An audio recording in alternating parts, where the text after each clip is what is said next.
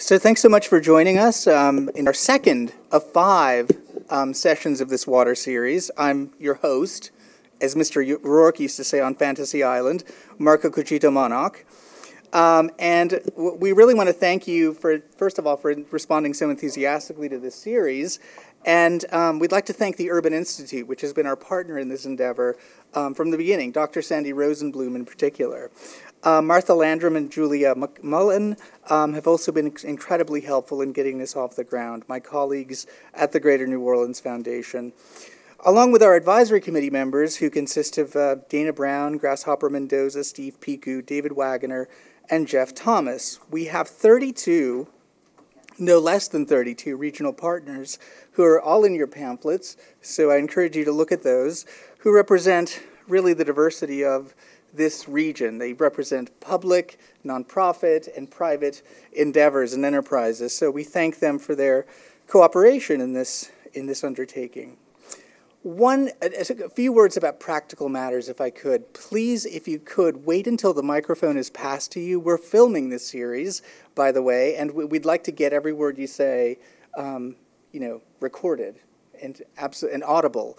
So if you wouldn't mind doing that, that would be wonderful. And on the practical note as well, if you want to see yourselves again or see significant components of this um, afterwards, after the fact, please go to our website where you'll be able to see that tomorrow. It's www.gnof.org. All right, so a quick word about the purpose of the series. The series itself is really meant to introduce new concepts, progressive concepts in green stormwater management, green infrastructure, if you will. Um, and we've started to look at several cities in the United States that have actually been leading the effort. So tonight, we really focus on Philadelphia and Houston, um, where we see a lot of really progressive things happening in this, in this realm. So, we are also being joined, oh, I'm sorry, um, by co moderators. Let me actually introduce you, so because we've started a little bit late, I want to get going with this thing right away. We'll allow 20 minutes for questions and answers from the audience at the very end of the program. And now to introduce our speakers. Julie Slavet is Executive Director of the Tookany Tacony Frankford Watershed Partnership. She is charged with community installation of green infrastructure and citizen education and outreach. She has over 30 years of experience in community affairs, program development, and team leadership, having served for six years as senior district staff member for Congresswoman Allyson Schwartz. Julie is returning to New Orleans, where she celebrated her honeymoon 28 years ago. So please welcome her.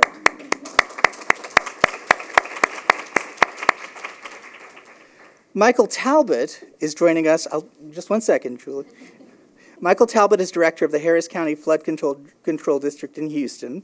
The district has jurisdiction over the primary stormwater facilities in the county, which consists of 1,500 channels totaling nearly 2,500 miles in length, along with more than 60 regional stormwater detention basins and a two and a half mile square mile I'm sorry, and a two and a half square mile wetlands mitigation bank. He is joined by his wife, who today is celebrating her birthday with us here in New Orleans. Isn't this fabulous? Please welcome Mike. And this evening, I have the honor of being joined by two celebrity co moderators who are from our city council uh, Councilwoman Susan Guidry and Councilwoman Kristin Gisleson Palmer.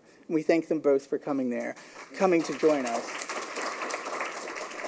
And for purposes of practicality, again, when it comes to the question and answer time, um, we can move next to our two speakers and ask the questions there. We'll just share a mic if that's all right.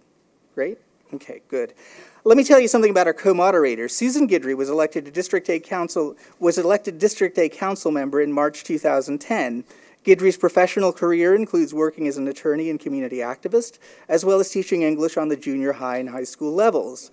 She is the former president of Parkview Neighborhood Association and served as a member of the Bayou St. John Conservation Alliance Steering Committee, District 5 Neighborhood Recovery Steering Committee, and the District A Neighborhood President's Council. So we thank Mrs. Guidry for joining us tonight. and her colleague on the council, Kristin Gisleson Palmer, was elected, elected District C council member in February 2010. Prior to serving on the council, she was executive director of Rebuilding Together New Orleans, where she assisted numerous elderly, disabled, and low income residents return to their homes post Katrina. Her top priorities include promoting local and regional connectivity, accessibility, and diversity within the transportation sector, and improving the quality of life in District C through blight remediation, sustainable development, and supporting New Orleans' cultural economy. She has been selected to participate in prestigious fellowship programs, including the inaugural Smart Growth America Local Leaders Council, as an advisory board member, the Aspen Institute's Rodel Fellowship Program, and the New Orleans Regional Leadership Institute, NORLI, and the National Network of New Deal Leaders. She received the National Trust for Historic Preservation Award in 2009 and was recognized with the City Business Women of the Year Award in 2007. Let's welcome her as well.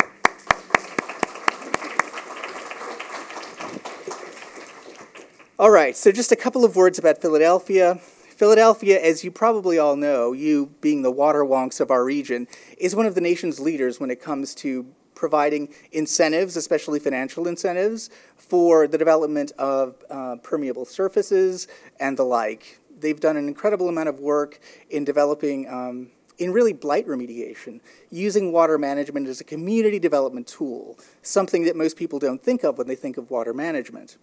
Houston is another national leader in this realm. Um, they've done an, an, incredible amount in conserving green space and in developing regulations and charges, as well as rebates and fee reductions. And they run a massive 1,400 acre mitigation bank, which is absolutely fascinating. So let's start with the example of Philadelphia and welcome Julie Slavet.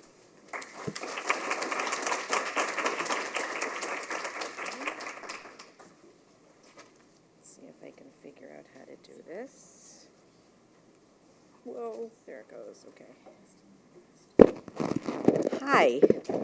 Um, again, my name is Julie Slavet, and I'm the director of an organization with a really strong, st long name that I'm going to tell you a little bit about and try to explain. Um, as Marco said, I was here 28 years ago um, for my honeymoon, um, and really um, am very excited to be back because this is a really wonderful um, a wonderful, special American city. So it's, it's really nice to be here. Um, the other thing I just wanted to mention quickly is I am from Boston. Usually I start talking and then the first question people ask me at the end is, are you from New England? So I'm just going to put that right out there first. Um, I've lived in Philadelphia for almost 18 years um, and with a quick stop in Dallas. Um, and I am a member of Red Sox Nation, so I need to let you know about that too. What we want to do is talk a little bit about um, the organization that I run and how we work um, with the City of Philadelphia. So again, it's an organization with a really no long name, the Tookany Frankford Watershed Partnership. Um, and we're similar to you folks in that we have a lot of history and people get very connected to names. So um, we're a 30 square mile watershed, half in um, Philadelphia, half in Montgomery County. Um, and in Montgomery County, people consider the creek and the watershed to be the Tookany. Um, you know, it's a Native American name. And when it runs over into the city, it crosses the city line, it becomes the Tacony. Um, and you can't say Tacony, you have to say Tacony. Um, and then it links up with a creek um, that's known as the Frankford Creek. Um, and because of a lot of changes in putting streams into pipes um, and putting roads over them, most people have no idea sort of what this all looks like because in the, at least in the Philadelphia part of the watershed, it's all pretty much underground. Um, we should probably really be calling it the Frankford Creek and the Frankford Watershed. Um, but when the organization was established and there were a lot of conversations about this, um, the water department especially felt that they wanted upstream partners to identify with the watershed and they were afraid if they didn't include the Tookany Tacony part of it, that wouldn't happen. Um, so from now on, I'm just going to say TTF because um, I only have 20 minutes. We're the only nonprofit partnership in the Philadelphia region um, that's organized as a partnership, meaning that we're a nonprofit organization that's funded by our municipal partners.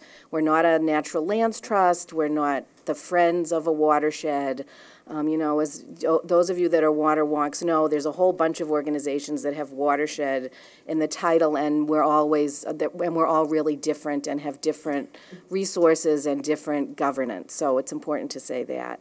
Um, Our mission is to improve the health of our watershed, and we do that through education, outreach, and projects. Um, We were created because the Water Department looked forward um, 25 years when their Green City Clean Waters Plan was completed, which is right there. Um, And they were very optimistic in feeling that the plan would be done and that stormwater runoff would continue to be polluting their creeks. Um, And, you know, they're doing Green City Clean Waters because the EPA told them they needed to do something about their runoff and combined sewage problems. Um, But what they knew was that if this was successful, which we hope it will be, that the upstream runoff pollution was still going to happen, and that Philadelphia does not control what happens in its upstream communities. You know, they're run by different officials um, with different resources and different regulations, Um, and they wanted to make sure that going forward, they were going to be able um, to make sure that good projects and regulations were going to happen in those upstream communities to get rid of the runoff problem. Okay. I know paper is really old-fashioned, but I need to keep doing that, okay? Um, So here's, a- I want to talk a little bit about the challenges. This is a um, map that shows you what our watershed looks like. It doesn't include a lot of streets and, um, you know, a lot of detail, because for you guys, that doesn't really make a lot of sense. Um, But what we have here is, um, if you look down, um, that way from those lines, which basically separate communities, you can see that in Philadelphia, the creek system is virtually, it's gone. The creek system was covered up, all the creeks and tributaries were put into pipes um, so that we could build the city. Um, Above the line, which is um, Cheltenham Avenue, um, above that line, you can see that there are still tributaries and creeks existing.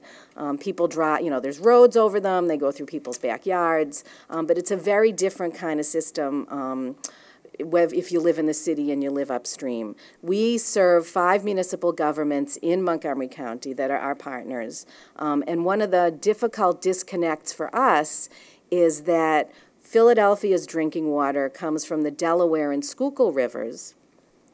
So our creek goes in to the Delaware River. So what, you know, our creek is a source of water for Philadelphia. Um, but for upstream, those folks get their water from a completely different source, a different watershed, a different water utility. Um, so in Philadelphia, we can talk about needing to deal with runoff and water conservation and all those kind of issues because people know where, because this is where their drinking water is coming from. From the upstream communities, we can't say to that, we can't say that to them.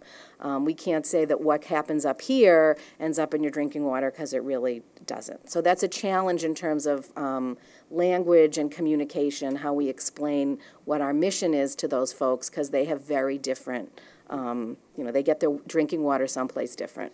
Um, and for most Americans, they don't even, you know, we all know this. You turn on the tap and you don't care where it comes from. You just want to make sure that you can, that it's clean and you can drink it, and when you flush the toilet, that it works. Most people don't care about um, those sort of details. So that's a little bit about the challenges. I think I like that better. Um, The other challenges um, are just to talk a little bit about what Philadelphia, the differences between sort of a a watershed that's split 50-50 between the city and Montgomery County. Um, Philadelphia is in some ways very much, in a lot of ways, very much like New Orleans. Um, You know, 30% of Philadelphia residents are living in poverty. Um, We have a really low um, rate of high school graduation. I mean, it's a, it's a challenge, um, and it's pretty serious. Um, So in Philadelphia, the, the, talking about stormwater is a, is a a tough issue, because people are really worried about where their next meal is going to come from, how they're going to make sure that their kid can graduate from high school, all the kind of things that we're dealing with in an urban environment that we, um, that we care about in addition to the environment. Um, people have different priorities. In addition, um, it's sort of the nature where the creek is in Philadelphia. On that previous map, we showed that most of the creek is covered over. Um, there's one portion of the creek that goes through a public park. Because what Philadelphia did a number, you know, 50 years ago, was they put their creeks was they were building their infrastructure into public parks. So that's a positive thing because it means that it's not going through people's backyards um, and that, that it's controlled by a public entity. Um, but in terms of Philadelphia, where that creek goes is very disconnected from the grid of the city, um, has very few sort of gateways, and people just don't they tend not to go into the park. Um, and it's got a lot of sort of urban degradation problems, in addition to the sewage the, you know, the combined sewage problem that happens. Um, and so the picture there is just to show you, you know, when we do cleanups in Tacony Creek Park, we often find, you know, pieces of, of automobiles and, you know, it's an, it has become somewhat of an urban dumping ground, which is a challenge. Um, so that's sort of the demographics and a little bit about the development. In terms of the other picture here, that's Abington. Um, that's on the grounds of the Abington School District, and that's where one of the headwaters of the creek are. Um, and what you can see there is we planted a riparian buffer there, and it looks very different from what the creek system looks like in the city. Um, it's a big suburban green um, school campus. So just, you know, sort of what people, people's um, understanding of what the creek and the watershed look like is very different in these two, in these two places. Um, just I want to show you the boundaries again a little bit, just so you can see very different governments. Our watershed is the purple one. Um, all those lines are streets and different government entities. Um, and the one thing that's also sort of an, an, interesting issue for us is the community that I just showed you, two of the headwaters of our creek are in that community, but that community, which is a community of about 50,000 people, also has two other watersheds in it. Um, so I just, you know, I always think about the Public Works Department. They are dealing with different regulations based on which watershed it is. Um, and even though we're the most degraded in terms of Philadelphia, they have to worry a lot more about the Wissahickon watershed because they have a TMDL for sediment in the Wissahickon watershed. So um, it's, you know, it's complicated for local officials um, to sort of get their arms around these kind of things and deal with them. What I want to do now is talk a little bit um, about sort of opportunities and tools now that we've talked about all the problems. Um, and really talk about uh, sort of opportunities, programs, um, partners that we work with, and the kind of resources that we've been able to pull together. Um, so some of the tools that we use, as I said, we do projects. Um, so in the city, we've done a series of rain gardens, um, and they're designed to capture the first inch of, of rainwater. Um, and this is a rain garden um, on the left in a beautiful, a beautiful park in um, Philadelphia's Germantown section, um, which is where one, in one of those places in Philadelphia where George Washington hung around a lot. Um, it's very historic. It's a beautiful urban park um, that has really needed some more attention. So we got some interest from the community in doing a stormwater feature. There was a friends group that was active in this park. Um, we managed to convince the water department to pay for this project um, and managed to do a community build of a rain garden. It's a pretty big rain garden. Um, and it, we've learned a lot from this, from this project. Um, we really use it as an organizing tool. And one of the things that we found is that it really inspired interest in the community in this park. Um, and I had a, an experience um, where we, where we were on a radio program with some of the local people talking about um, building the rain garden, why we built the rain garden, and the gentleman who was in interviewing us said, well, you know, I don't, what's stormwater runoff? And I went to answer the question, and one of our community volunteers said, well, let me tell you what that is. And this is why we're doing this. And it was like one of those moments when you actually feel like life is good and people are listening. Um, and we had had, you know, the whole process of building this rain garden was a community process of something like eight meetings where we brought in the designer and we talked about the kind of plants that we were planting and we gave the community an opportunity to decide whether they wanted it to be formal or informal. So there's a lot of um, buy-in um, and people learned about what it meant. Um, and people live near the, you know, they live in that community. So there's a couple of little old ladies who go by and check almost every day to make sure that the rain is going through, that it's working, um, and that the project is a, is a success. Um, it presented us with some issues, which I know is sort of one of the things that you'll continue to talk about in the series, is to figure out how to maintain these kind of, these kind of um, facilities. So you know, we've, we've learned that we do in fact need to make sure that we have an annual contract with uh, um, somebody who's going to come clean the gutters. Because the communities, you know, the, the resources aren't in the community to pay for that, but it's our project. So we need to make sure that that happens. Um, and that there's a plumber who can go and check the PVC pipes on a, you know, every couple of months, because if you, for us who are homeowners, you know that leaves get in these things. So there's sort of a maintenance thing, um, and we're learning as we go along, um, which is one of the other things that I just wanted to say a little bit in terms of Philadelphia. This is all very new, um, so it's it's intense to go to other cities where they really hold you up as the example, um, when we haven't been doing this for that for that long. So we're learning, uh, you know, we're learning along with you. Um, the other project we did is an upstream buffer. Um, here's the the school district um, maintenance employees who really wanted to make sure that the signage, the interpretive sign, was perfect. Um, I think it was actually a lot nicer than they expected. Um, and we planted a buffer there that filters rainwater that comes off. Um, it's a huge school district property, so there's huge roofs, concrete, parking lots, and a lot of athletic fields. Um, and for those of us in the know, you know, grass, grass is just like a parking lot in terms of absorbing and filtering stormwater. So this was a perfect site for us. Um, we had an in with um, the assistant school superintendent who's a board member of the National Audubon Society. So we knew that he cared about these kind of issues. The school district made us go through an incredible number of hoops to get this done.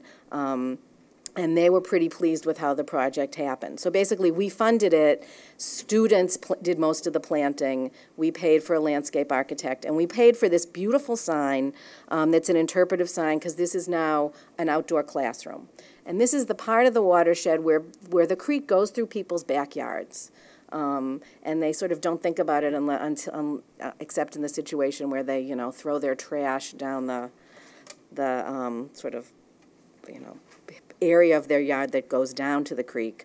Um, and this is a, the purpose, of, you know, the purpose of this project is not only to help with this, with stormwater runoff, but it's also to serve as an educational project. So um, what we do is we bring out people in this community to see that in fact the creek in their backyard is just like this creek and that they can plant these plants and they can um, have less turf grass, um, and they can do the same kind of things that, that we did in this project on just on sort of a little a little way on a mini way to do it. Um, we're thrilled because we really turned the school the school this school district into advocates. They actually asked us if we wanted to do additional projects there. Um, we've got gotten funded to do another reach of the creek, um, and they spend a lot of money watering their fields, because, you know, athletic fields have to be green. Um, and the reality is that underneath their fields is a creek. Um, so, you know, as we're working on this project, the director of school facilities said, do you know, do you know any engineers or any projects out there where we could really capture the rainwater and use that to water the fields? And that's what we're looking for, um, is for them to see that this is a benefit, a cost benefit for them, so that they're not buying water um, to irrigate their fields. So they're now champions, um, and we made sure that they continued to be champions because we gave them an award at our annual award ceremony. So I didn't include any of that in my PowerPoint, but that's always a really good thing. Awards are a really good thing to do. Um, how am I doing on time? You're doing all right. Oh, good, okay. Some other tools to look at are um, Philadelphia has a huge tree planting initiative going on. I don't know if that's something that folks are looking at here. Um, and trees are not the only solution um, to solving stormwater problems, but trees are great for stormwater management. Um, so Philadelphia has a very active horticultural society that's planting a million trees in the region. Um, it's called Plant One Million. Um, and the city has also made a commitment to increase tree canopy. So we were able to get one position funded for a year um, to have a tree campaign organizer. Um, and what we did with her was um, she used volunteers to survey areas where the city wanted to plant trees. It was really perfect for us because what the city was going to do was use a contractor to plant the trees. So we didn't actually have to plant the trees because planting trees is a lot of work. Um, so we had students that came in and surveyed areas. It's sort of like canvassing for a political campaign. They provided, they got all that data over a series of about six months. We gave it to the city, the Philadelphia Parks and Recreation Department, um, and over the next few months, they will be planting 500 trees in this neighborhood. Um, and we all, we plan on taking credit for that, and we are thrilled because 500 trees is a lot of trees. Um, it's a real noticeable difference. Um, in addition, the Horticultural Society has a program called Tree Tenders where they teach regular people like us how to plant trees and how to care for trees. Um, and we have supported groups in our watershed because um, we love for, for people to be able to do that. We also feel like those are um, those are people who are already interested in the environment and in improving their block and their neighborhood. Um, so we sort of consider them um, a group that's really easy to educate and to reach because they already you know they already care about these issues. Um, let me see mussel surveying. So, assuming you guys have mussels here, right? Do we have mussels? No? Oysters? You have oysters. Oysters. So, um, we work with an organization called the Partnership for the Delaware Estuary.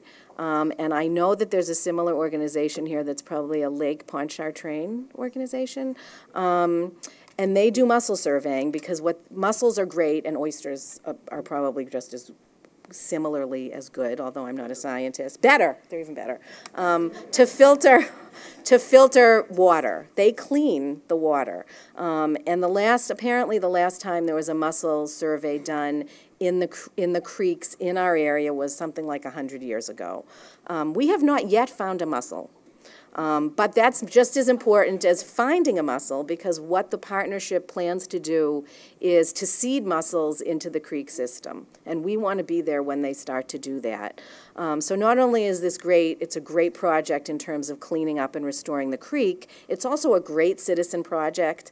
Um, I'm not the I'm not the kind of person who really loves putting on waders and going into the creek, but most people do. Kids love it. I mean, it's a great citizen science project. So we are all about mussel surveying. Once we got trained to do it, you know, you can do it in any creek um, in any creek in our system, and you can upload the data, and the Partnership for Delaware Estuary is thrilled. The more, you know, they're data hounds, so the more data that they have about mussels, the happier they are, and the easier it is for them to get additional money from the federal government to seed mussels into the creek. So that's one of our favorite, favorite projects. Um, and these are, you know, nature and bird walks are really similar. This is a group of kids in Tacony Creek Park. Um, looking for birds. Um, and bird people are really wonderful, wonderful people. They'll go anywhere um, to see a bird. So we really we work with the Audubon Society um, on that. And this is, you know, as I said, it's a real urban urban neighborhood. Um, and these kids' parents are thrilled because they see this as um, skill building, um, and they're looking for those of us who have children, you always want to find things that kids are you know, something that they're interested in that can really pique their interest. Um, and these kids, we bought them. Um, I think they were cameras from the dollar store. Um, little cardboard cameras um, and little cardboard binoculars, and they were thrilled. Um, in addition, one of the real tools that we look at, and I know that this is a, um, an issue here too, is job training. so we have um, we work with a program that the Pennsylvania Horticultural Society does called Roots for Reentry, which is a program to train former Philadelphia prison system inmates in landscape management. Um, so that they can get landscaping jobs. We've incorporated into that program green green infrastructure, watershed education. Um, we've been doing that for a couple of years. Um, and we got a grant with the Horticultural Society from the EPA. It was an urban waters grant um, to, to really put together better training for these folks um, and to put together some modules which should be available um, probably in the next few months so that they would know, they would recognize stormwater management features. They would understand that there's plumbing, they would understand that um, what native plants are, things that you should pull out and things that you shouldn't pull out, if standing water is a problem, um, they would understand, you know, what rain barrels are, what rain gardens are. So that's a, a project that we're really excited about. Um, it will be um, a great set of skills for these folks to have, um, and we're also going to be implementing it in terms of community groups. So I showed you the Vernon Park Rain Garden. We will use a module with folks in that community to continue to educate those people about the feature that's there, um, so that they understand how that works as community volunteers. Okay. Um, I'm going to go through this a little quickly. Recreation, we just did a 5K um, in Tacony Creek Park. It was probably the first race that had ever been done there, just to what, another way to bring people in. Runners are a little like birders, they'll go anywhere to run. Um, we had a couple of women who would run in, Bo- in the Boston Marathon, which was really um, very special. Um, so another thing that we look at, you know, people are interested in being healthy and, and getting out there and running. We've also started a program um, called Watershed Heroes. And these folks aren't quite as skinny as they look on that slide, but like this is about my third, um, my third PowerPoint, so I'm learning. Um, but we, what we have here, you know, young people who come out and volunteer to do cleanups because they mean, need community service credit, um, and we make sure that they understand what a watershed is, why they're doing the cleanup. Um, we recognize them, we reward them. Um, we're working on a system of giving them digital badges, and we want to make sure that they can explain to their friends, you know, why they're doing these cleanups and why if you throw a, a potato chip bag on the ground, it's going to end up in the creek. Um, so these are really ambassadors, ambassadors for us, um, our watershed heroes. Okay, a couple of other, I think I'm almost done with tools. Yep. Um, these are the last two things that I wanted to, um, to talk a little bit about. Um, and I'm going to talk about the Green City Clean Waters first. Um, as we said, the Water Department has this 25-year plan called Green City Clean Waters, and they are um, providing and incentivizing folks to do a whole lot of different kinds of stormwater management features. This is a, um, this is a downspout planter, um, and they do programs where um, people come out and learn about this, and then the city will actually go and install a downspout planter on properties um, on, on different blocks if they can get enough people that are interested. Um, so for us, this is really something that we do outreach about. Whenever we go to a community meeting in our watershed, we bring along all the water departments, outreach information, all the information about programs, because um, you know people the water department's a utility and people don't love utilities um, and we do a lot better outreach than the water department does. So in our watershed whenever we go to a community meeting we say hey you know you can get a rain barrel. You go to a workshop and the city will come and install a rain barrel on your property. You pull together enough folks on your block and the city will, an organization will come out and put downspout planters on all the prop, you know, on all the houses on your block. Um, we also do that with commercial project, commercial funds that are available. Um, the city offers grants um, called Stormwater Management incentive project grants with commercial property owners. Whenever we talk to anybody in the business community, we, we let them know about that as well. Because um, a lot of this stuff is just really sort of word of mouth. We're in, um, you know, a media market that's really saturated, so it's hard to get messages um, through to people just like it is, you know, just like it is here. Um, the other piece, and I don't know if you folks do this here, is um, storm drain marking. It's one of my favorite. Yes, you do. Good. Everybody's shaking their heads. Um, this is one of my favorite things. Not so much because um, you leave the decal there and you hope that people see it, but that while you do it, you make it a really big deal because people walk by and they always want to know what you're doing. It's a great educational tool um, for kids because that connection is just not there. Um, we've all probably watched people painfully um, sweep trash into a storm drain. It's a terrible thing to watch, but it's because they have no, they don't know. They just want to, you know, get it out, get off, get it off their property. And this is a really great educational tool. Um, for our communities upstream, they also get MS, you know, they can list this on their MS4 report. They get credit when they report to the state that, in fact, all their storm drains are marked. It's something that the state really looks at. Um, one of the communities in our watershed, um, which is where um, that I, where I have lived is called Jenkintown. It's a borough of 5,000 people. Um, it has a school district of about 600 kids, and it's a square mile. It's a little like Mayberry. Um, and we managed to mark all the storm drains in Jenkintown. We decided we needed to you know, that marking all the storm drains in Philadelphia is going to be quite a challenge, but that in Jenkintown it was possible. Um, so when some volunteer groups came to us with kids and, a, you know, some companies and different groups, we said, this is what we're doing. If you want to work with us, we're marking Jenkintown. Um, and we managed to get all the community, you know, all of the streets in that community marked. And they were excited because they can put it on their report to the state. Okay, so those are my opportunities and tools.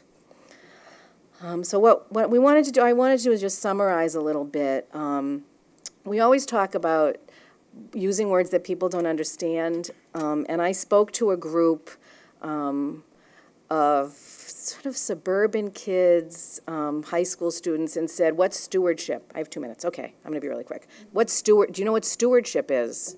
complete blank stares. So um, just we need to think about what we say because some of this stuff doesn't make sense to people. It, they don't understand it, um, but they do understand that um, they want their neighborhood to be safe. They want to they want to um, mitigate flooding as much as they can. They want to let their kids know that there are sort of interesting job opportunities out there. Um, our municipalities want to be in compliance in terms of regulation. So it's sort of targeting. Um, targeting what you do to the needs of your audience. And we all have really different audiences. We all have um, really different organizations that we work with. All right, one more minute. Here's partners. I'm just going to go through that really quick. Um, and then what what's next? And I think what's next is actually my colleague from the Houston, from the Houston. It's a very long name too. The Harris County Flood Control District is going to speak. Um, but I wanted to say a few things. Um, I love this slide because I feel like it really shows that we need to make sort of the land-water connection that people have missed because we've paved everything.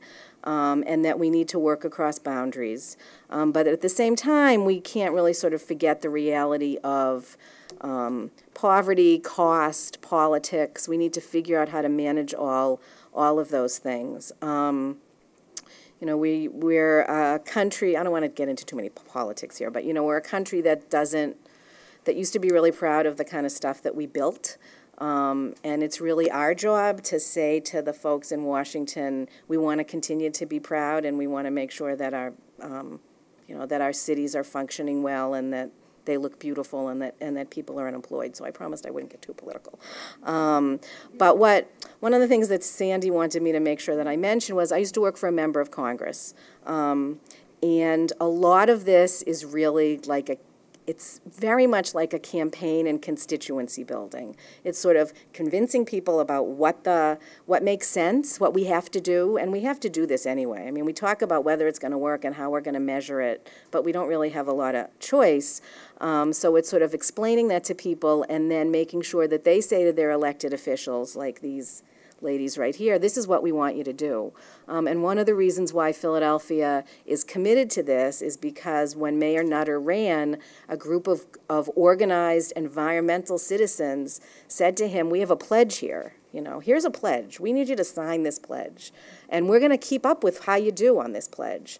Um, so, you know, what I say to our, our smaller communities is you need to do the same thing that they did in the city. Um, just because you're a borough of 5,000 people or a township of 50,000 people doesn't mean you don't have to say to your, you, doesn't mean it's less important for you to say to your elected officials, um, why are you building that new school parking lot the way you used to build everything else? Um, so it's really, you know, it's really up to us to understand the message and to tell the folks that get to make a make decisions for us how we want them to do that. So I think I'm done. Thank you. All right, I don't know how to turn myself off here. Thank you, Julie. You are fabulous, and I know we're going to have a lot of questions for you from the audience, which has grown remarkably since I last turned my head, so thanks for arriving. Um, and now, next to it, as we um, boot up his PowerPoint, is Mike Talbott, of course. We chose Houston, Texas, really, out of pressure from our advisory committee because I didn't know of all the wonderful things they were doing. So thank you again, guys.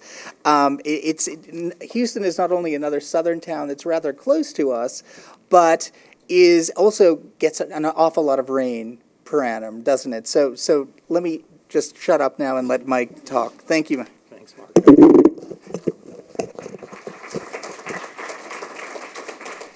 Thank you. I really am thrilled to be here today. New Orleans is one of our favorite cities in the world, and uh, when they called, asked me to come do this a couple months ago, I was thinking, hmm, June 5th, that's my wife's birthday. Um, and so when I asked her, what do you want to do on your birthday, New Orleans is always on her list. And so after she said that, I said, by the way, in the afternoon, I need to go over on Canal Street for and so here we are. We came in Sunday, so we've been having a blast, and it's uh, a lot of fun.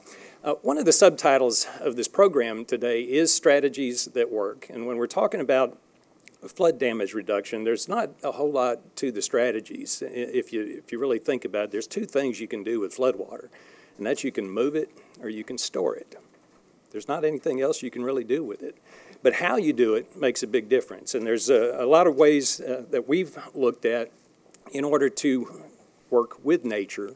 And it's always been a lot easier. But this is something new to us as well as we've uh, worked through this. Uh, our agency's been around for 75 years and uh, probably single-handedly destroyed more environment than any other agency uh, in the region.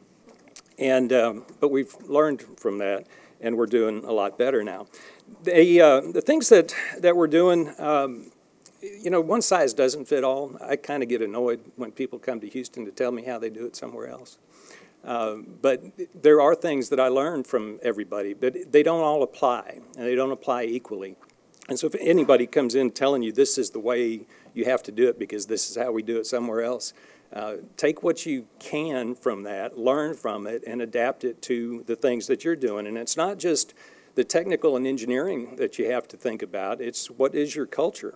What are the politics of your area? What is the governance of your area? How can these things be implemented? And uh, partnerships are a big part of that. Uh, we have a, a, lot of political entities in Harris County. We've got a lot of uh, nonprofits, a lot of environmental organizations that all have to work together to make these things happen. And uh, just, you know, find what fits for your community and work with that. We're going to go through um, pretty whirlwind tour of, of, what we're doing in Harris County. That's just kind of where we are in the world. And I'm showing that uh, half the state of Texas and parts of New Mexico drain to the coast within 50 miles of Houston. Um, I'm going to show you that doesn't have anything to do with our flooding, but uh, as opposed to New Orleans, where half the United States and parts of Canada drain to the coast within five minutes of a walk from here. Um, but this is really what affects our area, where Harris County is in the city of Houston. And uh, it's a very small drainage area. But uh, we do get a lot of rain like New Orleans. We do have the threat of tropical storms like New Orleans. And we have slow, sluggish systems. We're called the Bayou City. Uh, no competition there at all. For some reason, we're called that. We were formed on Buffalo Bayou as the, is the main part of that.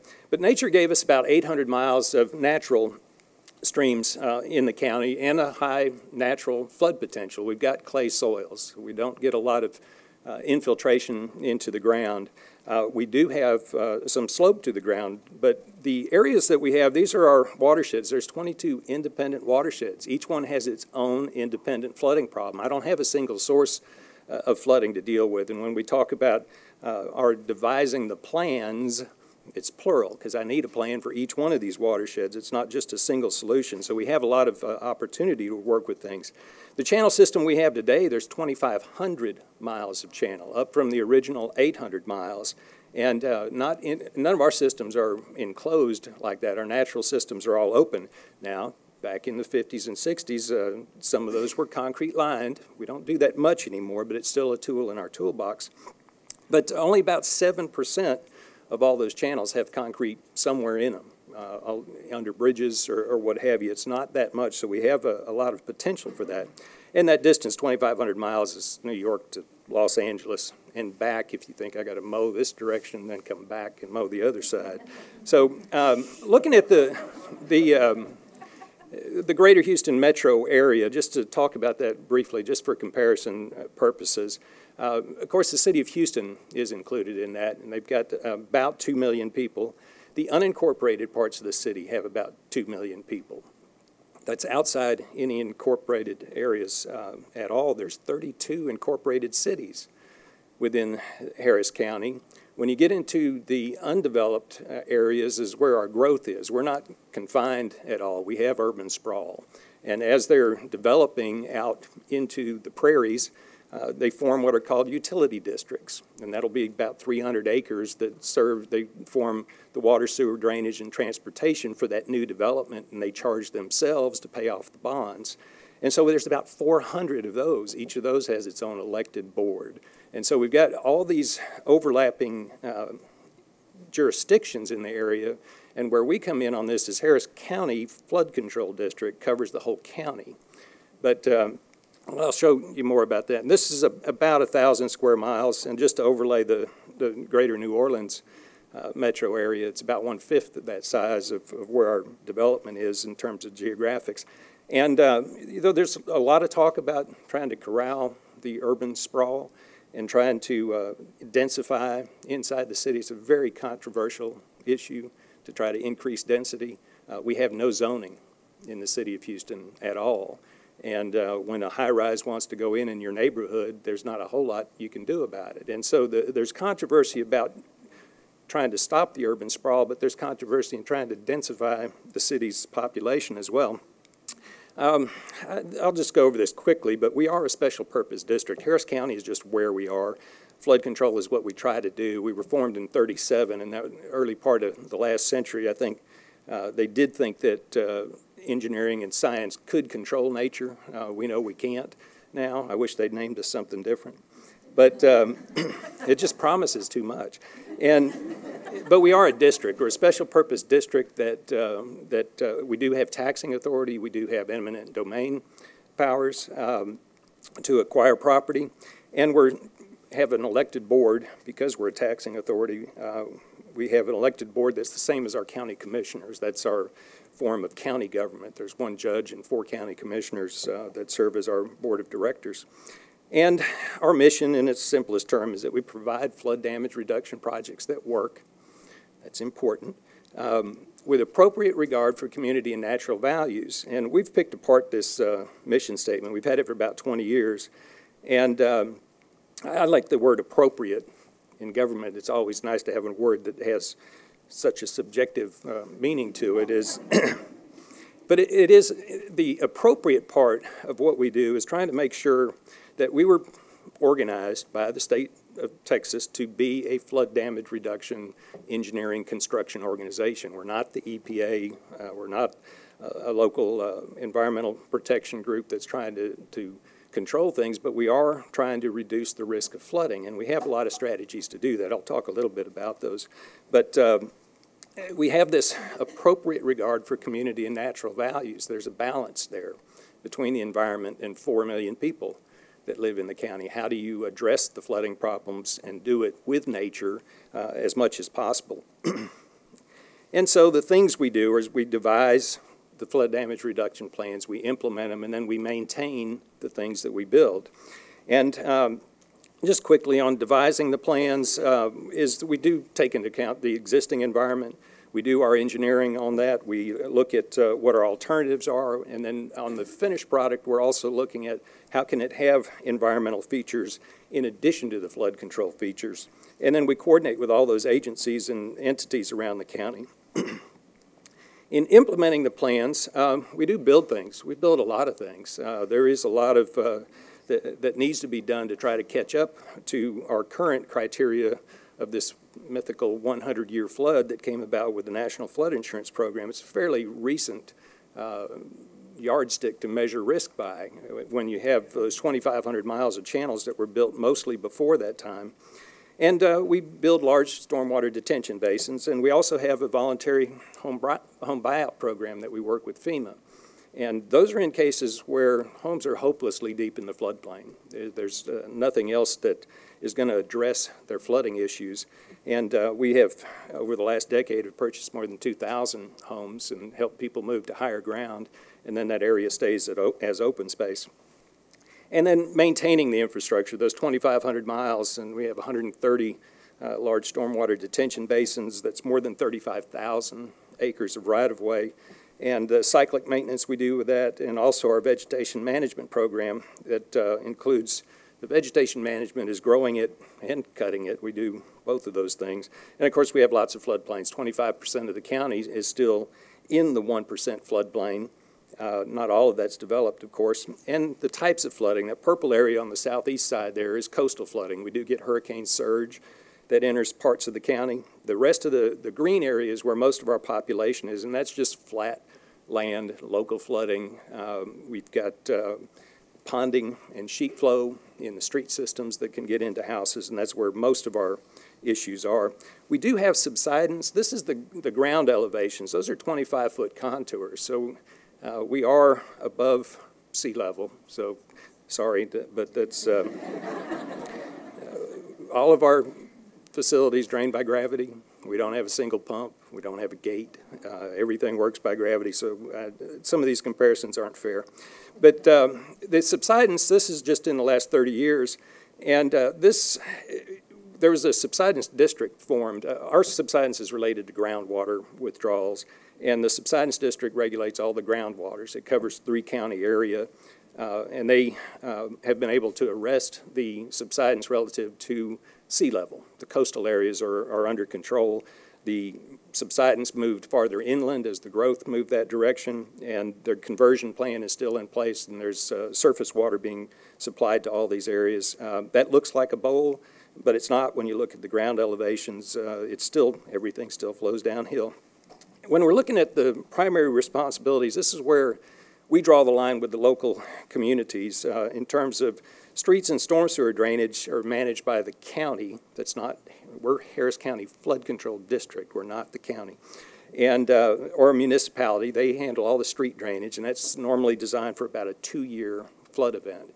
But they also look at the more extreme events, trying to make sure that the water can get to one of these bayou systems uh, and our bayou drainage uh, is managed by the flood control district, and so that's where we split. But there's a lot of cooperation uh, between the entities as we try to implement things. And then just best management practices as we're talking about how we develop our projects, how we design them, and how we build them. Uh, we have a tree rescue program. When we're going in to build something, we'll go through and try to move trees to the perimeter or to other public lands. Uh, we have to do our archaeology. It's state law, plus it's kind of fun. But the um, project construction, I mentioned we do a lot of construction, uh, millions of cubic yards. All of our detention basins have to be excavated. Uh, we can't, we don't build dams to, to control our water. There's no topography. Uh, so we do move a lot of dirt. We do tear a lot of things up. And um, the bridge aesthetics is something fairly recent as we're talking about alternate uses for the bayou system is uh, you can build a pretty ugly bridge and it'll stand just fine, but uh, the interest is in trails along our bayous that'll go under the bridges. And so they, we wanted them to look good from below. Uh, we build projects when the channel needs it. The other entities build bridges when the road needs it. So it's, uh, but we're involved in, in trying to help that. And of course, our turf establishment, we got to get some grass growing on our systems for the erosion. Tree planting, um, a big part of our program, and we use volunteer uh, work a lot on that. Wetlands planting, uh, I'll come back to trees in a minute. The wetlands planting, uh, we don't just plant wetlands for the heck of it. We're, uh, it's part of our flood control projects in many cases, and I'll show you an example in a minute. And when we're building those uh, water quality features in our flood control, uh, we decided we ought to monitor them just to see, since we built them, do they work? And do quite a bit of monitoring and some floodplain preservation. We're trying to get out ahead of development in some of that urban sprawl area and purchase the floodplain to preserve its flooding uh, natural uh, the, the resources of the area, but uh, also mainly to keep developers from trying to do something stupid with the land. The uh, best management practices also go over into our maintenance programs is managing that much land that uh, we some 37,000 acres or so, and the vegetation management and the repairs to our systems. We've got crews that go out and assess uh, all of our channel systems looking for problems. We've got uh, these erosion repairs that affect water quality and conveyance. Uh, the silt that goes into the channels, we go and repair these. Uh, interceptor and outfall pipes, desilting the channels, uh, even with the uh, the MS4 permitting process, we're seeing less silt in the channels from the new construction activities, but it's still there, and we have to remove that for conveyance purposes. Uh, and uh, wildflower planting, is something that uh, we do on our systems as well. You see two of those pictures are on a concrete lined channel. Um, Somebody told me that was lipstick on a pig, but it's a, it's a very, people love to go out and take pictures up the bank uh, with their kids in the wildflowers and not see the concrete. But the, the wildflower really uh, does serve our purposes. It's expensive to do, but it gives us a varied root structure so that it's better erosion control. And my favorite part of that is uh, we mow three times during the growing season. That first spring mowing, the channels get to looking a little ratty and people are calling, why aren't you out here mowing? If I tell them I'm waiting for the wildflowers to go to seed, they accept that answer. So we can save a mowing cycle as, as we go through there. Our tree planting program, we have, uh, we plant about 25,000 trees a year. I can't plant them just anywhere. I've got to plant them where they're not blocking the conveyance of the channel. The channels uh, themselves, if you put trees in them, it cuts the capacity in half. And so we've got to be able to plant trees where it makes sense uh, on our systems. Uh, but we are looking at how we design some of our new systems. They're designed to have trees in them. And so we've got, we've built some examples of those. Selective clearing um, is a program where we're looking to try to establish the tree canopy to get the succession of, of growth to shade out some of the undesirable growth that's underneath it. And uh, we have selective clearing on a number of our more natural channels uh, in the county to try to keep up the conveyance. Uh, selective herbicide, uh, we used to use 300,000 gallons of herbicide a year uh, about 20 years ago. We use about 3,000 now. It's a very selective program. Uh, licensed applicators, all on my staff. I don't trust contractors to do that kind of work. Uh, mowing, we do mow a lot, 16,000 acres three times a year. And that uh, little guy in the middle there, those buyout lots, those 3,000 buyout lots that we have, I got to mow those too. Um, so we, uh, we do enter into agreements with the neighbors to take care of some of those lots. The trails are a big part of this program too. On all those channel systems, uh, we own the right-of-way. As the flood control district, the public owns it through us. And I only need it a couple times a year to flood. And the, next, the rest of the year, it should be available to the public. And uh, this is continuous right-of-way along most all of our channels. Uh, we're working with this next outfit, they loaned me some slides. This is called the uh, Houston Parks Board. This outfit um, is a nonprofit local government corporation that is to benefit the city of Houston, but they're working inside the extraterritorial jurisdiction of the city as well, and so they cover most of the county. And they have this program, it's, it's a very aggressive program called the Bayou Greenways Initiative. And uh, this program is uh, slated to complete a continuous parks and trail systems along our bayous. It's for physical and mental health, environmental health, and economic health. And there again, just the, an overview, that's the aerial of the Houston area. And they looked at uh, the 10 primary channels. These are along our original channels, along those uh, original 800 miles. These are some of these that they're looking at trying to develop uh, these park systems along. And they had estimated that along those systems, within a mile and a half of all of those systems, is that there's almost 2 million people that are within one and a half miles of, of that uh, area. And in the city alone, 1.3 million were that close to those systems. And there's tributary channels that would lead people to these, these spines, these main systems.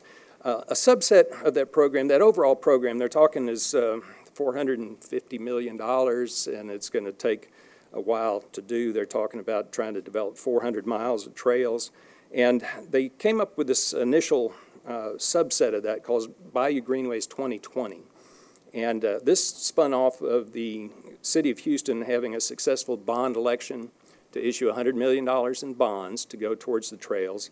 They required that the local entity, this, uh, the uh, Houston Parks Board, at least match that. They're coming up with 115 million, and this is just inside the city limits of Houston, but all those trails are going to be on flood control district land. And uh, of course, they're looking at some acquisitions, some design, the construction, uh, all of this to take $215 million and complete it by 2020. It's going to be a pretty staggering program to, uh, to get it done, but when it's complete, it's going to be fabulous. And they looked at the, the value of this, and I was a little skeptical. They previewed this with me when they're looking at what's the economic value of doing this. That's not me. Um, this, Physical and mental health, they're estimating 77.1 million. The Environmental health, 22.5 million per year. And the economic health, another 17.5 million. So this 215 million dollar investment, they're saying will return 117.1 million per year in countywide benefits and 70.3 million a year in uh, benefits to the city of Houston. Now, um, you know, we, we went over these numbers with them forward and backwards. They were really nervous about overstating the numbers as people wouldn't believe them. And in fact, the numbers they came up with were four times this number, and they said we can't put that out. You know, we've got we've got to cut those numbers back to something something. Uh, and the the numbers were supportable. They vetted those. Uh, uh, through a number of areas, but they didn't want to seem like they were stacking the deck in, in those issues.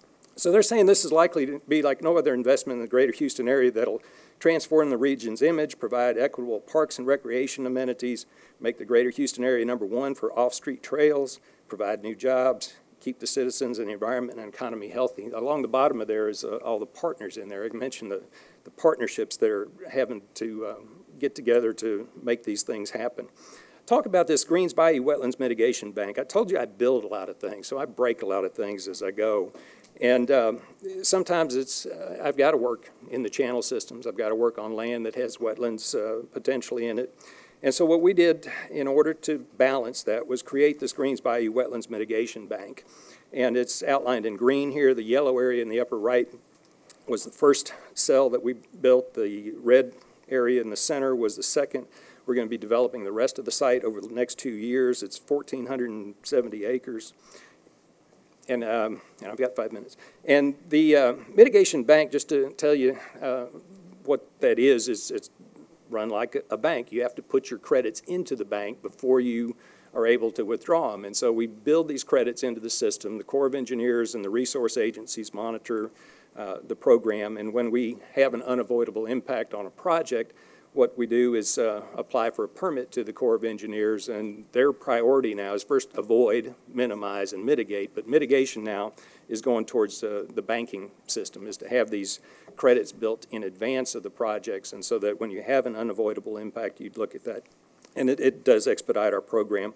These are just some shots of the bank. Um, that's that northeast corner in the top left. Um, the birds that are coming in, the mammals, some of our game cameras out there, what we're capturing. Uh, this is about five miles from Bush Intercontinental Airport. Uh, we're not going to be a good neighbor when that area starts developing more, but uh, especially with some of these other critters.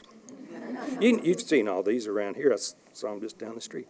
Um, and we're also working on an umbrella mitigation bank. Uh, this is a new concept where we've got an agreement where we can develop other sites anywhere in the county within this agreement uh, on individual sites as we go. And uh, this is going to be uh, really expedite the program to get more things in place. Brays Bayou watershed, I'll just mention this is one of our mega projects on those 22 watersheds. Um, just to show you a little bit about this, we're doing channel work. This was one of those concrete line channels, but we've got four large regional detention basins, replacing 30 bridges uh, as part of this plan. It's a $500 million program. And uh, pretty watercolors that uh, trying to disguise some of that concrete lining through there. But we're doing all our work above the concrete lining. We couldn't take it out. It just carries too much water. We couldn't replace it. And one of the things we are doing is blending the channel banks into park systems. This area on the right is Hermann Park. It's the crown jewel of parks. It's our central park, if you will.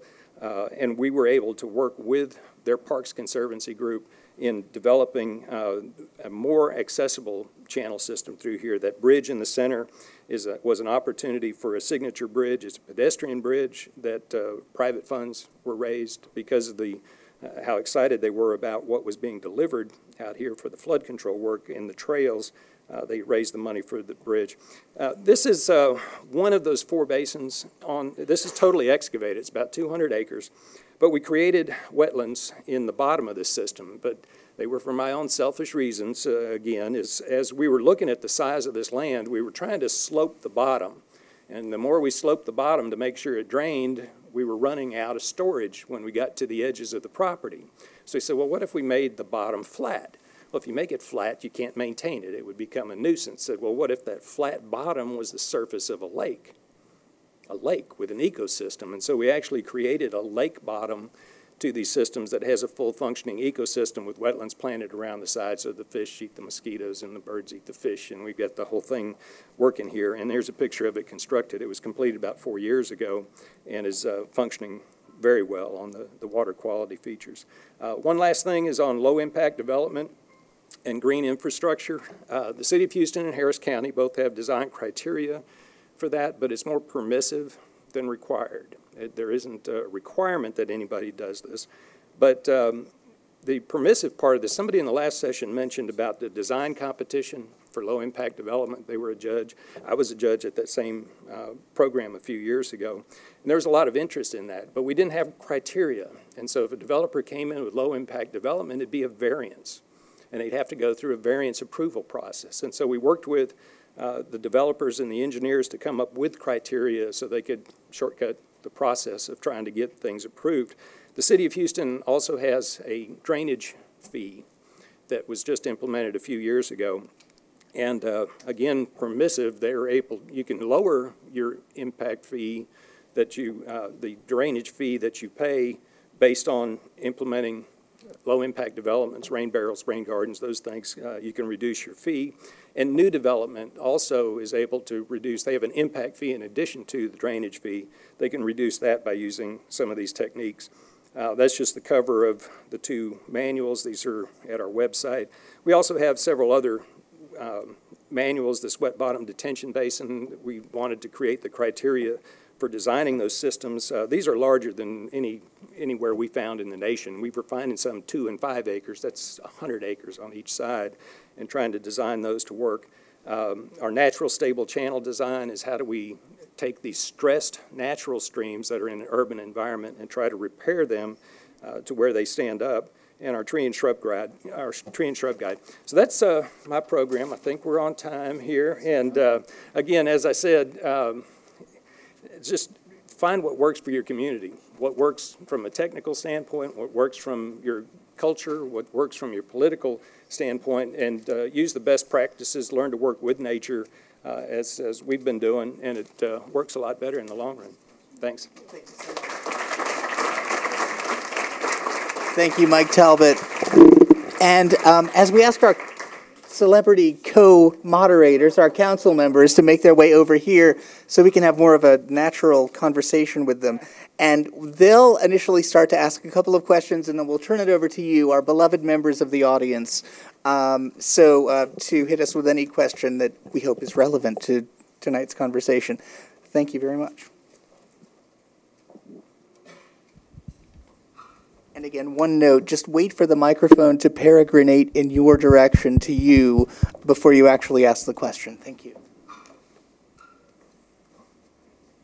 Questions? Oh, let's start, Julie. Oh, I'm so- I'm sorry. That's all right. Sorry. All right, so who's first? I'm just going to open with a real quick thank you. I wanted to thank the um, Urban Institute, and I also want to thank the Greater New Orleans Foundation. I think these types of series are hugely important. I've participated in a couple other ones, not regarding water management, but it's just so refreshing to see more and more people are coming, and I think it's really important to have this dialogue um, as we really try to rethink our city. So I just wanted to say that, and um, and I'm, I'm excited. I think we see a lot of similarities in some of the assets that they presented that we already have, but we don't really have that organized fashion. So I'm really hoping that this could be a catalyst in how we really look at um, how we plan our city, how we do our city, and how we can move forward. So, Councilmember Guidry, did you want to? Uh, yes, of course. It, it- this is very exciting. It's a conversation that really can't uh, start and develop soon enough for our city. Uh, we all know that it's been eight years now that we've been beginning to hear the story about stormwater management, about management of our water in, in for many different reasons. And yet, because we are building so fast, because of the uh, recovery period that we're in, it's like everything you get to, they say, sorry, the design is already done on this. We'll get to it with the next project. Or, you know, come back and see us another day. And it's like, no, no, we really need to stop and take the time to change the design. And we need to stop and, and, and just change our ways for good. And uh, this is something that is so frustrating that is happening uh, right now in New Orleans that we are dealing with. We are learning this. We are learning all of this, but we're not putting it into practice fast enough. And so we need everybody's assistance in um, in you know um, outcries on that with regard to uh, private development, public development, infrastructure work that's being done.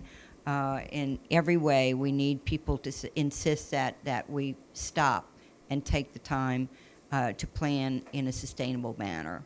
So I would just like to ask a first question, uh, and that is, and I, I believe that you, Julie, your nonprofit, part of what you're doing is getting people to buy in, right? And, and you've got a population, 30% poverty rate, et cetera, et cetera. So what, uh, what do you find works? How do you get the, the individuals to buy into the idea of stormwater management? Um, Thank you. I just have to tell you this right off the bat, is that I, Council Member Guidry, I know her sister. Um, and she's a remarkable resemblance, so it's wonderful. I got to work with her sister, um, who was a, a township manager in Springfield Township in, in Pennsylvania. So, um, and she worked on some great historic preservation. So it was really nice to be here. Um, let me see, how do we get people to buy in? I think it's a mix of things. Um, for us, in Philadelphia, as I said, what we try to you know, Philadelphia's, and I'm assuming New Orleans is a lot the way, people are very focused on their own block. Um, you know, what's in front of their home, um, what that community is. Um, so we really try to focus on the fact that these kind of improvements are going to mean that there's less trash on the street, that the street is greener and safer, um, that it means that there won't be as much water on the street um, for them, particularly, you know, real local um, emphasis, because that's really how. What people sort of relate to. I mean, the other piece is that, you know, the water department is, um, and I'm not an expert on sort of the different structures that they've put in, but there is a, a stick as well in terms of commercial developers and resident, and mostly commercial developers and commercial property owners in having to look at how much stormwater is coming off of their property. Um, so for those property owners, they need to figure out what they're going to do if they have a lot of impervious surface. Um, the incentive is there because they don't want to be looking down the road and, and paying significantly more in stormwater fees. Um, in terms of municipalities, um, you know, the stick is there as well, but as we were saying here, you know, there's not always, um, regulations can be sort of general, um, and local municipalities need to figure out how they're going to be implementing them. Um, but for us, what we say to our municipalities is we're going to help you make sure that the state is happy with the kind of work that you're doing. Um, and you know, the, the one other thing is we also serve Philadelphia is doing so much um, that municipalities in our area can learn from, where they don't need to reinvent the wheel. Um, they don't need to come up with these ideas because Philadelphia downstream is already creating.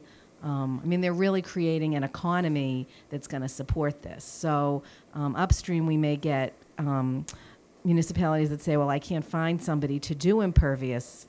Um, to do you know pervious surface, but Philadelphia, because it's so big, will be will be building um, an economy and building a, a number of companies because the, their investment is going to be so big in that. So that was a very long answer to the question.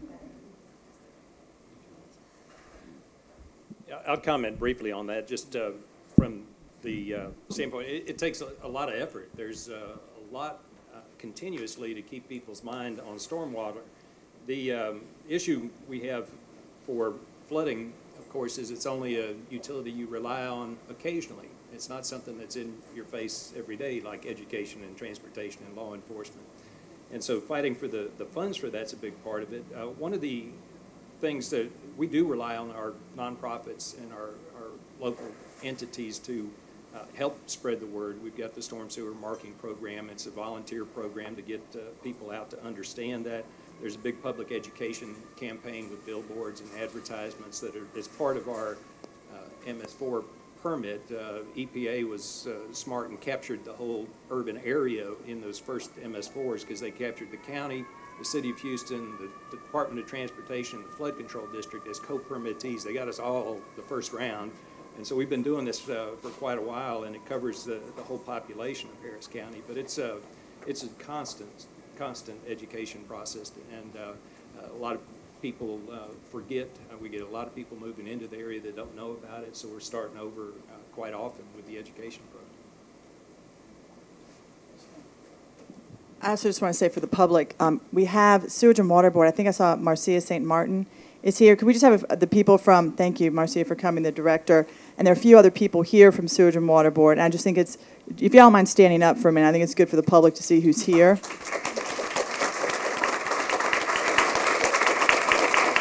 Thank you all very much. I think this also underscores the importance of this conversation. I think some of you may have paid attention. We've had a, a slight, um, we're going to have a slight rate increase over the next several years to deal with generational neglect of our, of our sewage and our water system and also of our drainage system.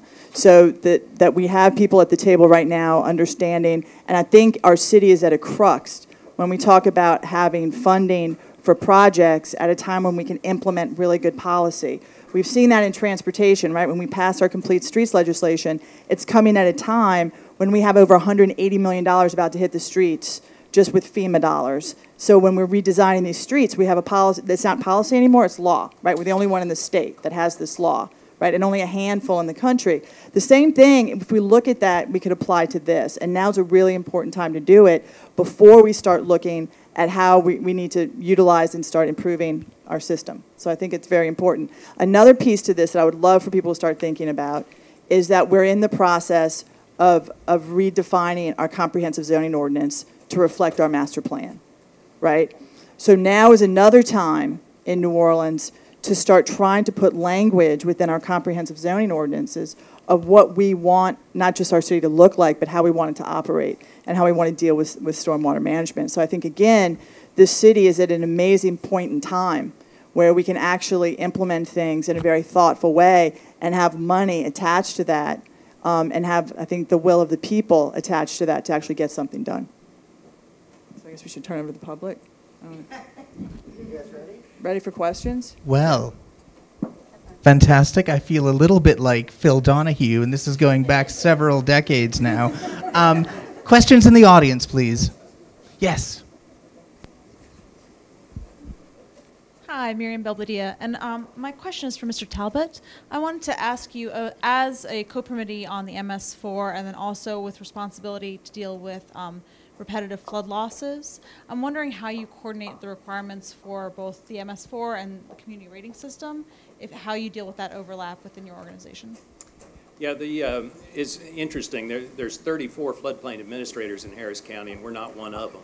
Uh, But we do work with all of the, the local entities on their uh, community rating system. That's where you can do certain activities uh, and get credit and lower insurance rates uh, for your community. And the actions that we take, uh, FEMA recognizes those. We're a cooperating technical partner, and the things that we do, uh, they can take credit for that on each of those 34 floodplain administrators uh, in the the MS4 uh, One of the programs we have is dealing with the floatables. That's what our agency is charged with dealing with. And we partnered with a nonprofit that runs a skimmer boat in the the Houston Ship Channel and downtown area. We pay about 350,000 a year to their operation, and they categorize and catalog all the materials they, they pick up.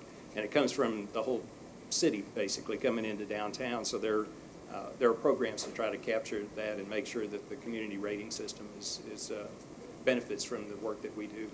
Uh, There's several things in the community rating system that we, we get credit for the other entities. Other questions? Yes.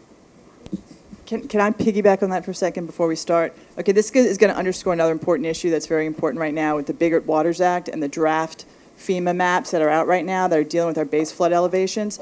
So FEMA, in, in terms of what our, dra- our, our draft flood elevation maps have not taken water mitigation into consideration while drafting these maps.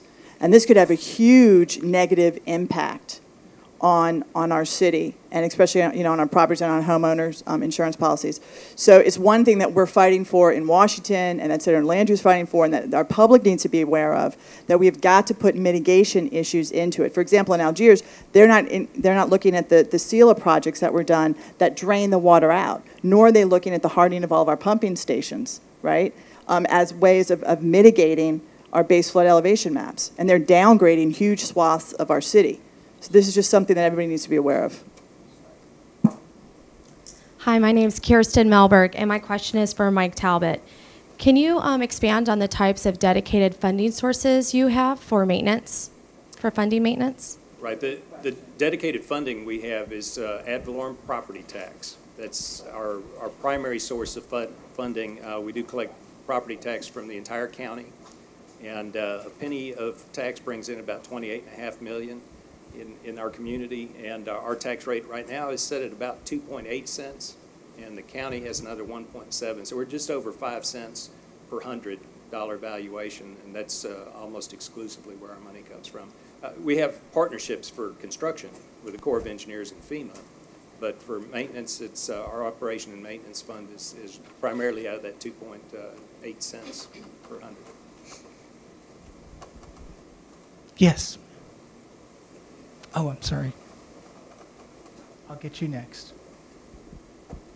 Hi, Dana Brown. Uh, Mr. Talbott, I was wondering, how did you reduce uh, the rate of subsidence? So you mentioned that.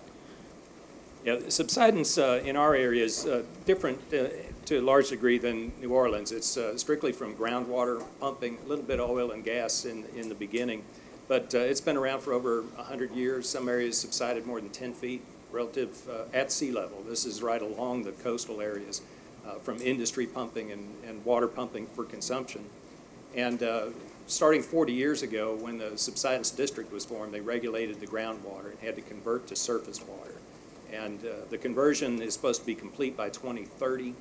And uh, all of the coastal areas are under control. They have been for about 30 of those 40 years. Uh, The coastal subsidence is, is zero now. And the inland subsidence, they've got uh, water authorities in place to build the distribution systems to all those 400 utility districts that have their own pumps and, and wells right now. They've got to hook on to this other system or pay a disincentive fee. Uh, If you continue to pump groundwater, they're not going to cut your water off, but you're going to pay a- a lot higher rate for it uh, after the conversion is supposed to take place. Hi, Linda Santi. Quick question for Mike Talbott. Um, so there was that slide about the uh, the bond issue and the qualifying the the benefits, monetizing the benefits of it, and there was 77 million for physical and mental health. One of the bullets under there was urban cohesion. How was that quantified, and what does it mean, and what portion of the 77 million was it? You're going to have to get that from folks that put that slide together. That's, that's not our program, but uh, we did review that, and they, they were concerned about uh, that, that type of reaction to the numbers, but uh, they do have some backup for all that number. They've got a great website. Do you a sense of what that might be? Um, I believe it, I just don't know. No, but it it was an exhaustive study, and it's, uh, it's pretty interesting, actually. You can get a copy of that at their website. It's uh, the uh, HoustonParksBoard.org. I know you're brimming with questions. Here we have. I have uh, two questions. One for the two speakers. Um, What process did you go through to identify which types of soft infrastructure you wanted to implement as a priority? And for the council members, what vehicles are, exist in Orleans Parish for incentives for that type of infrastructure in New Orleans? Are you looking at the, the soft infrastructure for like low-impact development or? Developers, developers and property. Right, that's uh, another issue about what works in our community, and that's where we got together with the um, engineers and developers and looking at our soil types and technical information about our rainfall and the types of things uh, that we think will work in the Harris County area. And, uh, you know, we were having people bringing in studies from Wisconsin and from Maryland, and we said, we don't have glacial till. We don't have, you know, we, we can't have a policy that says no increase in runoff from your property that's, that's reasonable. And so we went through and decided what would work. Uh, we built some demonstration projects on some of uh, our facilities. The city has built some storm sewer and roadside ditch type uh, construction that utilizes some of the activities to try to demonstrate their effectiveness. But it's, uh, it was largely uh, technical based as to what will work with our soil types, our annual rainfall, the, the types of, uh, of uh, capture that you want to do. Uh, rain barrels is one of them. I'm not a big fan of rain barrels for flood control. As for you to want them as a property owner, you want them full. And for me to work as flood control, I want them empty. So it just, it's not, it's, uh, there's always going to be a conflict. Other questions? Oh, I'm sorry. I'm sorry, Julie. we can share. See, see how cooperative we are? Um, so I think the city of New Orleans the council has a lot because we deal with land use. Land use is, is the purview of the council. And we have a lot of flexibility in provisos that you put on developers. I think many of the council members do it in a very ad hoc fashion. We try to force people to, um, force developers to plant more trees, to put interior walkways in parking lots, um, those kinds of things that we're trying. But again, we don't have any guidelines to do it, and usually it has to be done within a proviso if they're coming to us because they, they want something um, within that project legally, right, through there. So that's one thing that we try, but, but uh, there's a caveat here, right? And the caveat is we're, we still have so much development that needs to occur, and we still have so many neighborhoods and communities that don't have econ- economic development, right? And so you, you walk a fine line to trying to really ask a developer to do something, but not disincentivizing them to, to put a grocery store in this particular location or to put a development there, right? And to push them out to another neighborhood that then they might find more desirable or another district because they're not going to care. So I'm, I'm constantly walking that line, which is why I think it's, and I push as hard as I can, but again, it, it's a give and take. You know, I met somebody from New York, and we are having a conversation about, about ordinances and what have. She goes, oh, well, we just tell people what to do. They have to.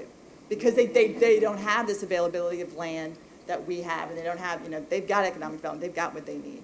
And so that, that's, the, that's the caveat, which is why, again, I think I made those comments early on, that if we had a comprehensive zoning ordinance that was very clear on what we have to do, it would really give the entire council, I think, a better tool um, and for us to, to follow. And just to add to that, and, and to reiterate a bit what I was saying earlier, it, it's rather painful right now if you don't have um, the stick, you know, uh, to ask these developers to um, make these changes. Unless you're holding a conditional use or a zoning change or something over their heads, uh, then it's very difficult for them. They will say, uh, we just can't afford it. The financing won't work if we have to do X, if we have to add this. Um, and also, you need the administration behind you uh, saying, yes, big developer, there's no law right now. The, the comprehensive zoning ordinance ho- hopefully is going to be insisting on all of this, and we can use that and rely on that to, to make the developers uh, make these kinds of changes in sustainable infrastructure and uh, stormwater management and the like. But right now, we don't have those laws to require them to. So it, it is a carrot and stick thing that we're dealing with, and that's why we really need the uh, other departments, the administration, everyone to be pushing as hard as possible until we get this CZO in effect and we'll have the laws to rely on. But which is why one of the slides, I don't know which, I'm sorry, which, which speaker it was, was Michael or Julie's, um, where they showed you did demonstration projects. And if you could talk a little bit about that, because I think that's really a, a neat way of doing it, is going about it and, and do like maybe a couple sample projects. Like this is what it could be, this is what it could look like, and these are the residual benefits.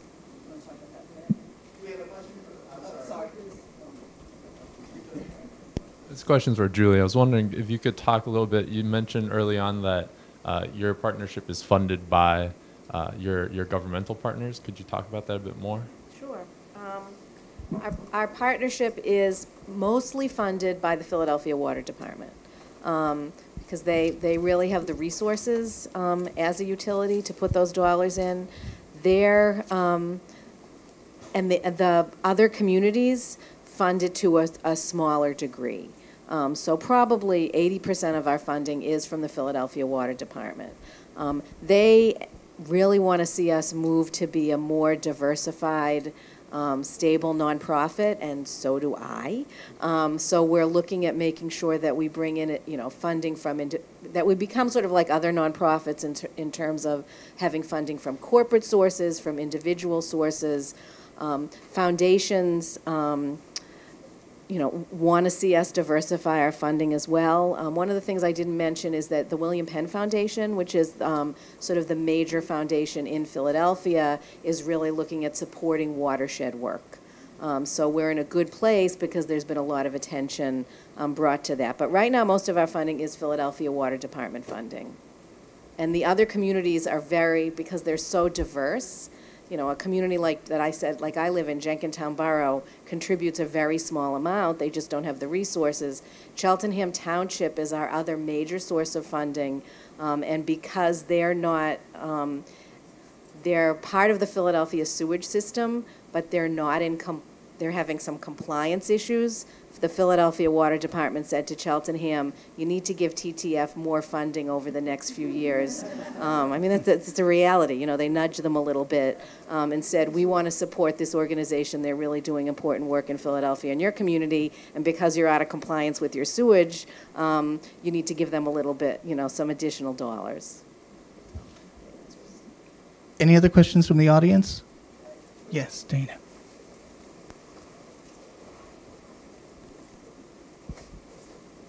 Sorry, I can't help myself. I appreciate the part about development because I'm, I really am very pro-development. Um, but if anybody tells you, which is so great, why you guys are here, and the and the um, the council's um, public works committee meeting the other day, um, last week was great, is that um, if anybody tells you it costs more to do catch basins and pipes than it does to do green infrastructure, their mama should give them a whipping because they're lying to you it's, it's not true. So. Thank you. So, um, exercising moderator's prerogative, I'm going to ask a final question, if you don't mind. Did you have something you wanted to say, Julie? I'm sorry. Okay, you're okay. All right. You're the moderator. Uh, well, I'm just. Yeah, of course, please. Okay. I'm sorry, I know, but just the last, the, the last question, not Dana's comment, but the one before, about um, how it's funded, your nonprofit TTF. I think it's really interesting to note that the council already has regulatory powers. We see it with um, how we regulate energy. One of the things that the council created, especially, uh, I'm, I'm going to give you a plug, Councilman Guidry, was Energy Smart, right? And working with nonprofits to make sure that we have these energy efficient measures. I, I believe very strong that a precedent has been set. And I think, especially with when we talk about the increasing revenues that are going to be coming in right now and having and to hold sewage and water board accountable for the reforms, this could very well be part of that. And it would make a lot of sense to me to incorporate that within within the this. It, I guess it's an opportunity that we have that we didn't have before. So, final question then. Um, one thing I find really fascinating about Houston is the fact that it managed to get the business community behind it. And in the South, as we all know, the business community is really incredibly influential in getting things done to, to pass the, the, the, kind of the kind of tax that, that Houstonians did uh, to, for the for the Bayou Greenways project. How was that done, Mike? I mean, could you give us a little bit of an outline of how you went about doing that? Yeah, the, the Bayou Greenways uh, program, there was a, a, big public campaign with that. The, uh, the Parks Board ran that thing. The, the final vote, it was it passed 68% uh, was the, the value on the 100 million for that program. And uh, the power of the Houston Parks Board in their fundraising is uh, they have nearly all the match already taken in, 115 million. There's a, a, a, big part of the, the local foundations are really behind this as well in the private side funding for the program. But uh, it took uh, the mayor's leadership and the, the uh, public education on the program. And we've seen uh, the Trust for Public Land approaches us quite often to talk to us about uh, doing polling and you know nationwide that these types of activities uh, are uh, widely supported by the public. And I think this they're using this as an example. They were involved in, in some of this discussion as well. And I'm trying to piggyback on that with the flood control angle is the, the county's Parks Master Plan says 50% of the park space, open space needs of the future are going to be met on flood control land. I think that's light.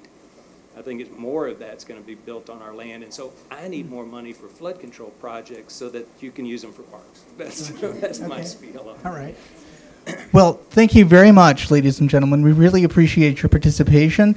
Let me remind you, though, before you get up from your seats, that we have three more of these, um, three more of the uh, convenings within the series coming up. The next one is June 19th on Green Alley Streets and Neighborhoods, where we'll be featuring the work of Milwaukee and Portland. So you don't want to miss that. Uh, and then the one on June 26th involves innovative financing options, such as some of the things we heard about in Philadelphia and Houston. Um, we're going to go more into, into depth with that, using specifically Washington, D.C. as the focal city for that. So please come back. And then the, the, the final one, the final convening, will actually really attempt to get some sort of traction behind um, having the city and various departments commit to next steps, really some concrete next steps. How can we work together? And not just the city, by the way, or, or you know, p- entities that are involved with water management, but how can we, as a collective, both as private property owners, as foundations, as others uh, involved in this community, how can we get behind things and, and really set an agenda that's quite concrete? So please continue to join us and have a lovely evening. Thanks so much.